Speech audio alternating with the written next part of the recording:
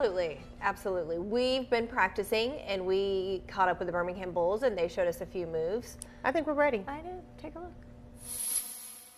I didn't realize you were such a big hockey fan. Oh, I, I love hockey. Really? Yes. Matter of fact, this is this right here is what you call a barn burner, Eunice. A barn burner? A barn burner. Oh, yeah. wow. That guy over there on the left, Uh-huh. he's what you call a bender.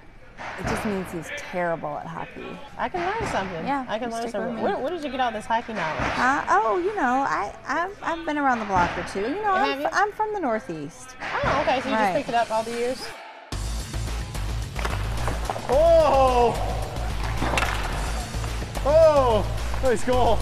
After you score a goal, you have to do a celebration.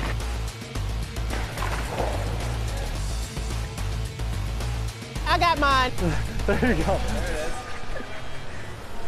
Or you could just Yeah. body check celebration. Punch. Yeah, there you go. Oh, you're good. I just- Do you want to play for our team?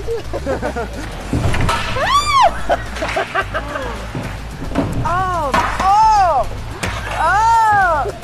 I can't even talk. It was so, So glad we get along, Eunice. They put on a little show for us. They did. You know what? They liked hitting each other. Every time we said, do it again, they're like, okay. Yeah, watch They were really cool. We really want to thank Yeah. the Birmingham Bulls. And uh, I felt confident. I want to point out why we did not have on skates on the ice.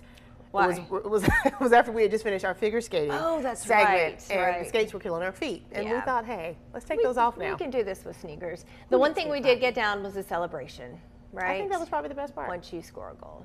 And the fighting, getting some leverage, holding on.